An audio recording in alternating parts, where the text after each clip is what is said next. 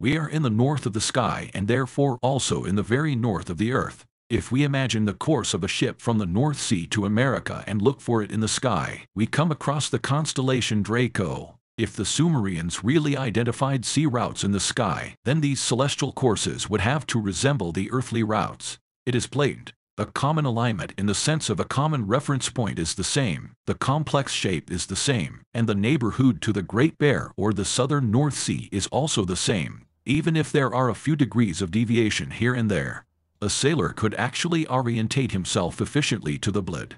You have to bear in mind that we could even throw a rubber duck into the current and it would arrive. Therefore, a few degrees of deviation is not really a problem when orientating to currents.